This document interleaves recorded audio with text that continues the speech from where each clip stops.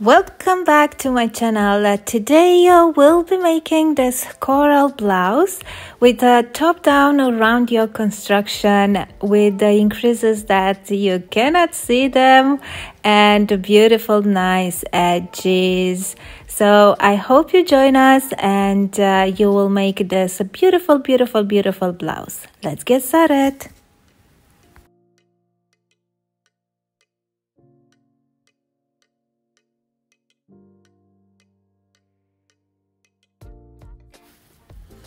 For the coral blouse, I'm using durable coral. I wasn't uh, so inspired with picking up a name, which is a mercerized cotton yarn in size 2, size sport. And uh, that is why we will be using a larger crochet hook 4.5 millimeter or use the hook size that you need to uh, meet the gauge and uh, I'm making size extra small and I will start with 99 stitches.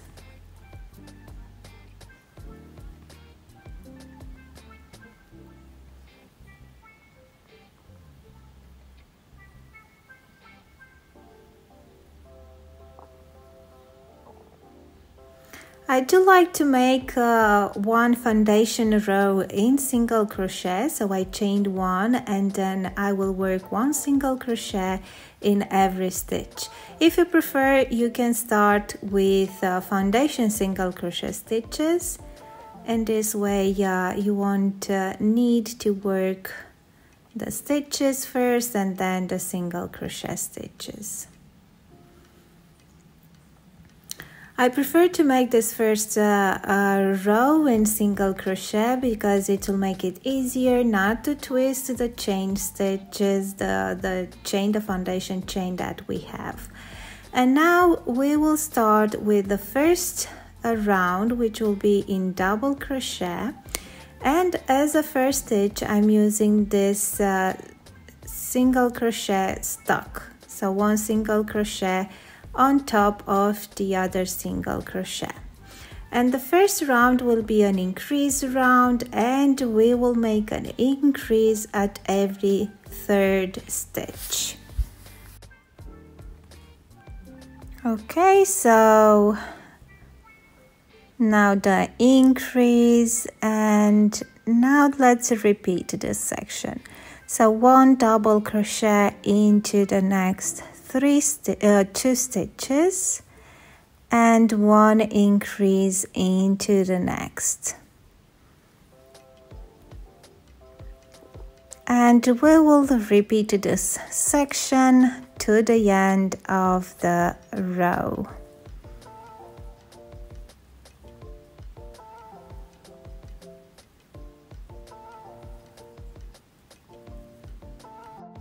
Now we will close the round with an invisible slip stitch. So we will remove the hook from the working loop and then insert the hook from back to front into that first stitch and then grab the working loop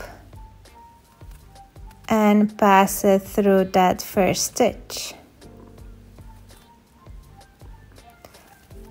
Now the second round will be a cross stitch round and I didn't realize it when I first started to work on this uh, this blouse. So this is the first stitch and I could skip it and work actually a cross stitch at the beginning but I worked only the double crochet and then I got uh, with one stitch left at the end so I started around with a double crochet and finish it with a double crochet.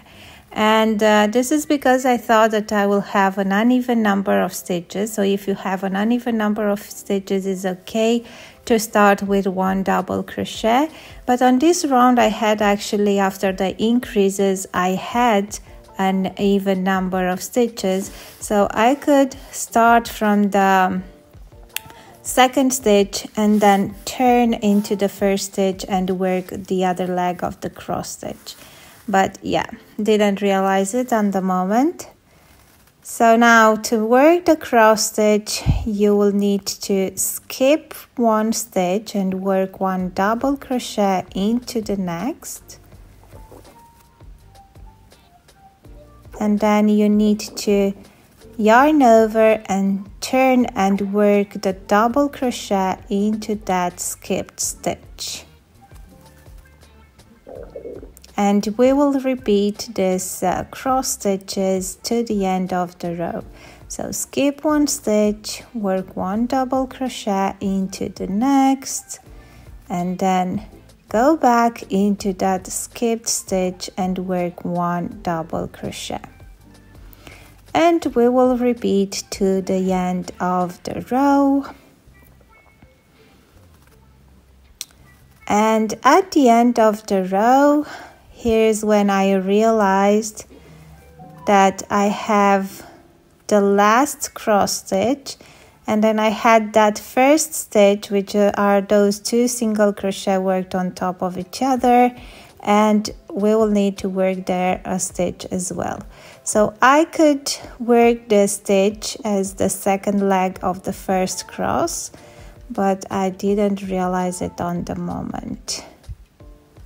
That actually starting with 99 stitches but increasing with 33 will give me an even number of stitches now now we will start um, uh, the round the double crochet round uh, I, I will start it from the second stitch as well because if you're switching and not starting from the same spot you might uh, end up with uh, a nice and straight joining line. But you can also start into the first stitch as well and this third round will be only double crochet stitches. As I written down at the beginning we will increase at every fifth row. So now we have uh, uh, another two rows to work. One in double crochet and one in cross stitch.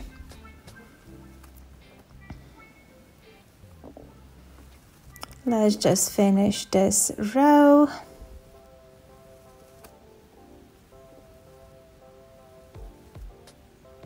again with the same uh, invisible slip stitch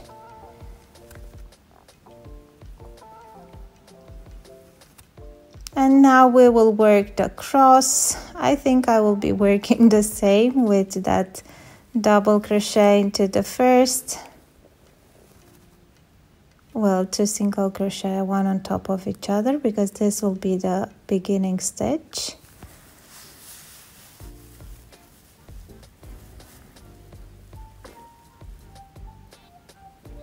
So now after working this stitch, you can actually turn into that first stitch and uh, work the first cross stitch.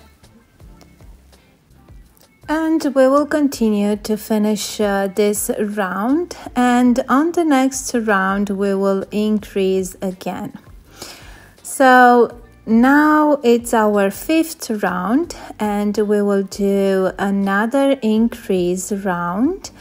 And because on the first increase round we increased at every third stitch this time we will increase at every fourth stitch so one two three and into the fourth we will work two double crochet.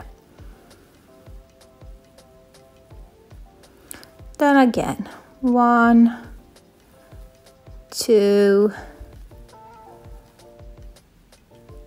three and into the fourth we will work two double crochet and we will continue to increase at every fifth round until we have 12 rounds. And now to finish this increase round, we will work the last section.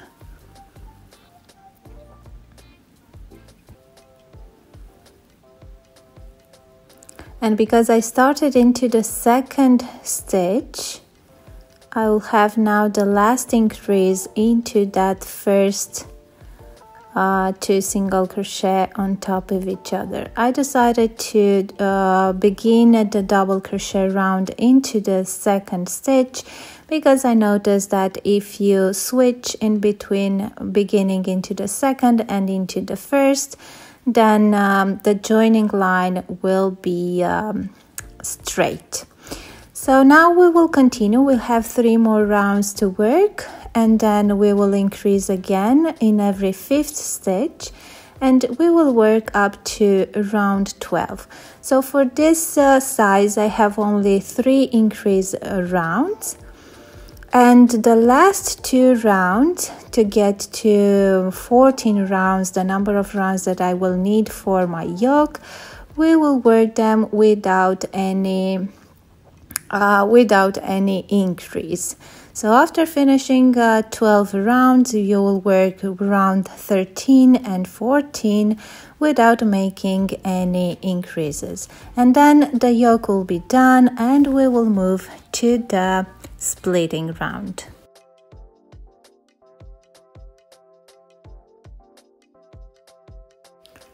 So I placed the stitch markers marking uh, 60 stitches for the back and front panel and 39 stitches for the sleeves. And the first section that we will be working from the beginning of the row will be the back panel. So we will start with the same beginning stitch. I'm starting in the um, first stitch this time if you start in the second stitch uh, this double crochet round don't forget after skipping the last sleeve to work that last stitch. So now I will work the first 60 stitches up to the first sleeve. Of course that depending on the size that you are working you will work the number of stitches required for the back panel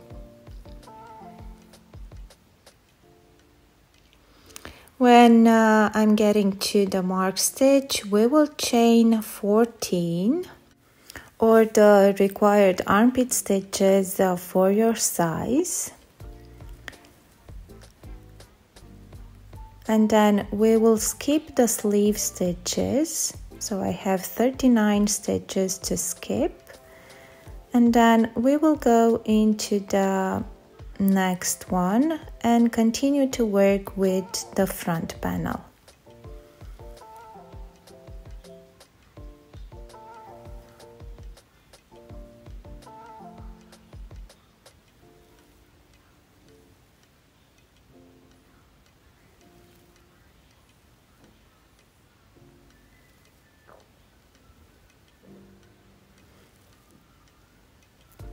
When we finish with the front panel, we will chain again 14.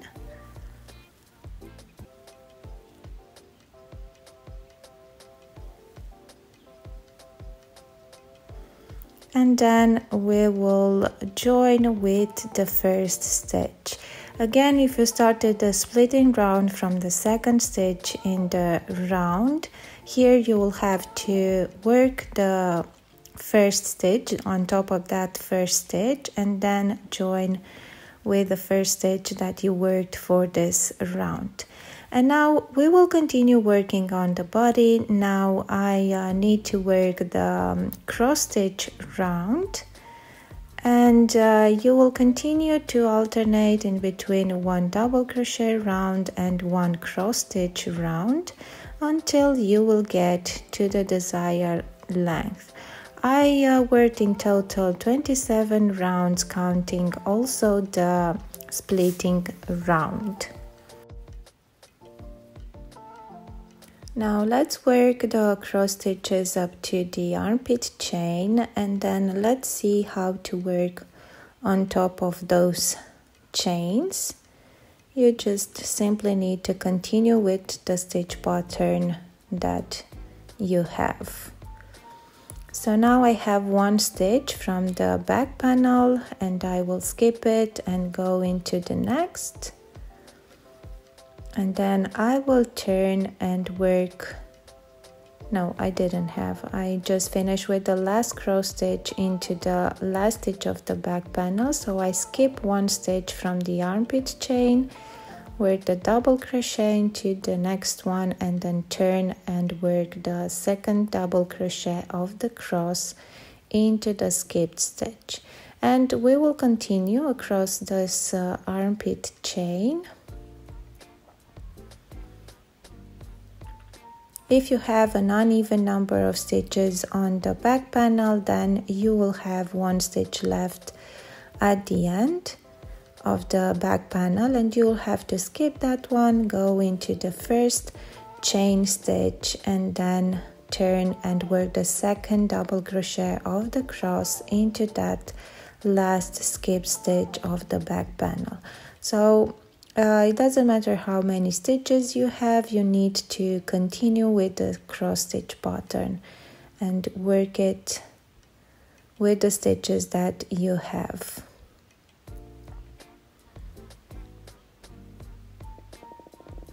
And now I will uh, go on top of the front panel and work the stitches and on the second armpit chain we will proceed the same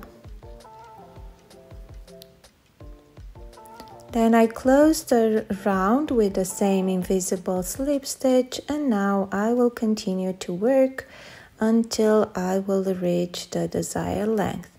As I said, I worked in total 27 rounds counting the splitting round as well but feel free to work as many rounds as desired. And now we will finish the body of this blouse with um, an edging. I uh, decided on a slip stitch edge, but of course you can work as you want.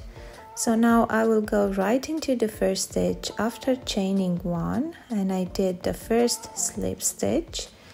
And it will be easier to see that first stitch if you're placing a stitch marker because it tends to get smaller and smaller. And then we will continue. And I think I will only chain one as the first stitch not a slip stitch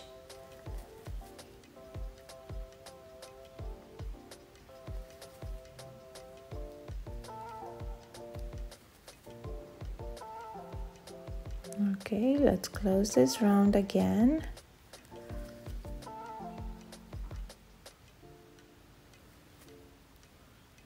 I can do a regular slip stitch now and then just simply chain one I'll go into the next stitch with a slip stitch and then into that chain one I will place the stitch marker and then I will continue to work slip stitches in every stitch. If you prefer to make another edging, feel free to do so. If you want to work the slip stitches edging, then I do recommend to keep the stitches looser. It will be easier for you to work with them. So now I have the the join into that first chain and now we will work into those back loops of this uh, slip stitches. Say this is the top loop and then into the back you can see those two loops.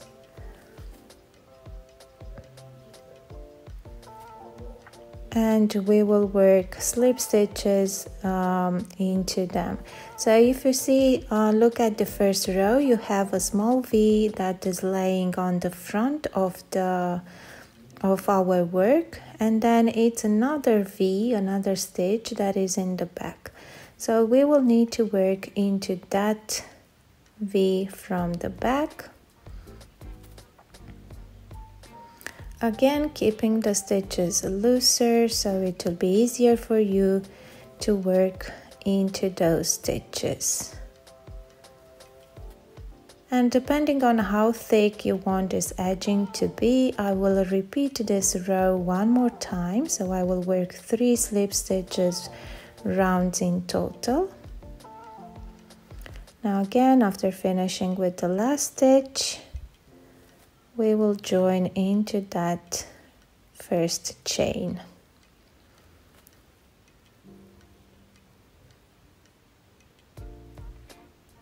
Now again, chain one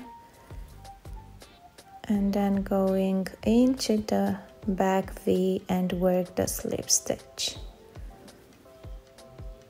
We will place a stitch marker into that first chain and then continue working into the back of the slip stitches but through both loops yeah so there are those V a little bit in the back and you need to work the slip stitches there.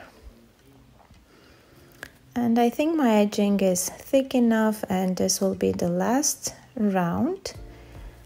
So this is how the edge is looking and now we can move to the um, collar and work the edging of the collar as well um, normally the next section to start with will be the sleeves but so I wanted to wear this... the collar because I want to see um, to see it nice and neat as well.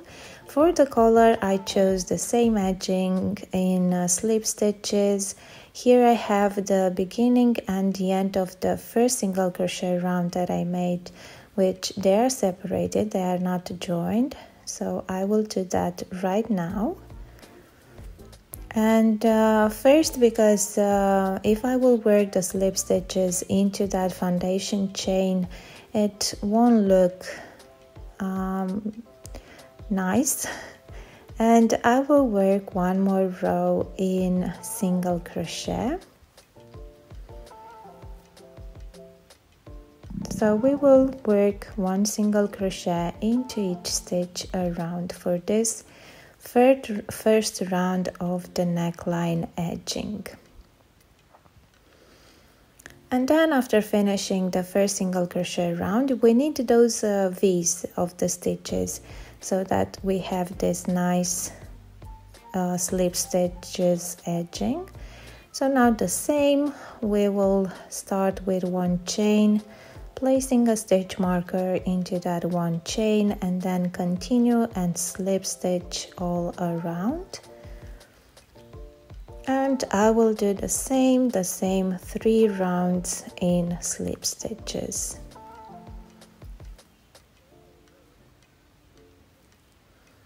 And here is how the collar is looking right now nice and neat. And we can move forward to the sleeves of course, if you prefer to keep this uh, uh, blouse as a t-shirt, you can now work maybe just the same edging as the collar and uh, bottom. But I will work a 3-4 sleeve for this blouse, so I'm rejoining the yarn into the middle of the armpit chain. And we will start our sleeves from there. The first round will be in double crochet. I'm starting with the same two single crochet, one on top of the other.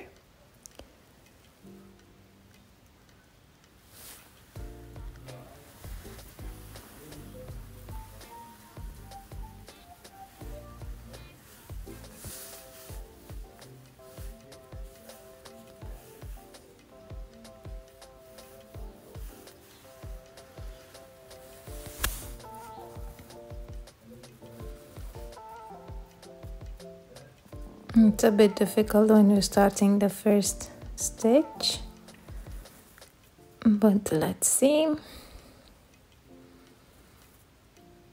Now we will continue with one double crochet until we get on top of that um, uh, separating round from the body. We have there a side row that we need to work on top of it in order to avoid any gaps. I don't want to add more than one stitch there because I want to keep an even number of stitches but if, if in case you don't have an even number of stitches it's okay because you can start the cross stitch round with a double crochet and have that double crochet in the middle of the sleeve. It won't be that visible.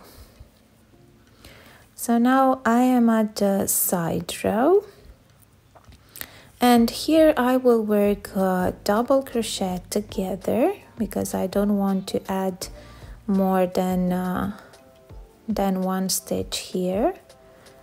So I'm making one two on the top of that side row and on the bottom.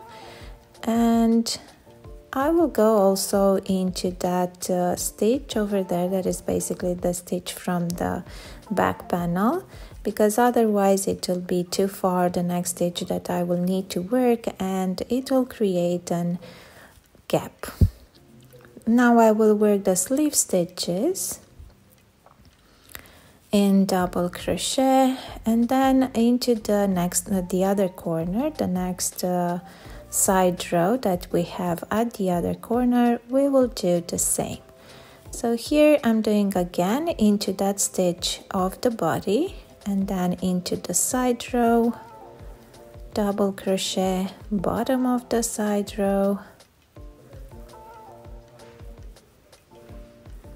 And we will close that stitch. And now we will continue to work into the armpit stitches to finish the round.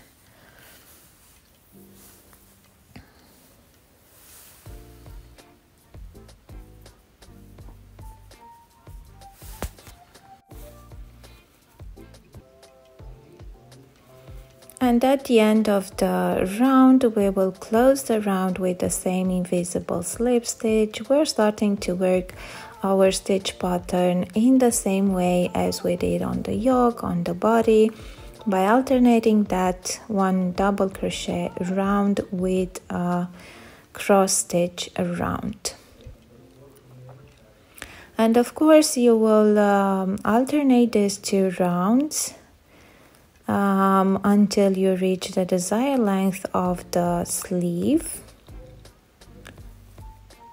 I started from the second stitch and now I'm turning into that first stitch. And then continue with the cross stitch pattern. I work in total for the sleeve 21 uh, rounds. But again you can work as many rounds as you wish until reaching the desired length of the sleeve.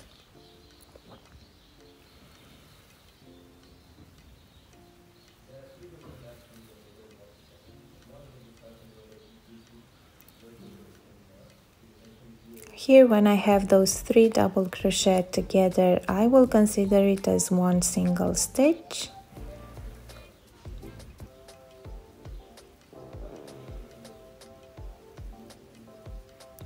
We will continue to work like this to the desired length. So now I'm going into that first stitch and join this around.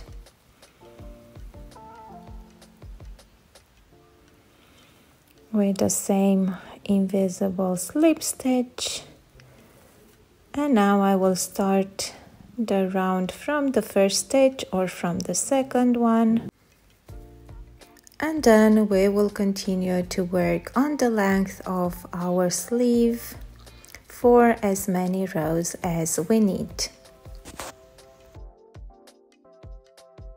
Okay, I finished 21 uh, rows and now I will uh, continue with the same edging as I did on the collar and on the bottom of the of the sweater. So we will start with uh, that uh, slip stitch uh, round. this time we want to do a first single crochet round because we have a double crochet round as the last round of our sleeve. And this round has those uh, V's on top of the stitches. So we will uh, get the desired look that we want and now again I started with a slip with a chain um, then a slip stitch and I will place a stitch marker into that first chain stitch. And now we will continue to work slip stitches across and then we will repeat this um, slip stitch round. And starting with the second one we will need to work those slip stitches uh, same into the back um, of that loops. After finishing with all three rounds, we will cut the yarn and of course that you will need to repeat the same pattern for the second sleeve and after finishing with the second sleeve you are done with the sweater we just need to weave in the ends and then the blouse is done I really hope you enjoyed this tutorial and thank you so much for watching and see you next time. Bye!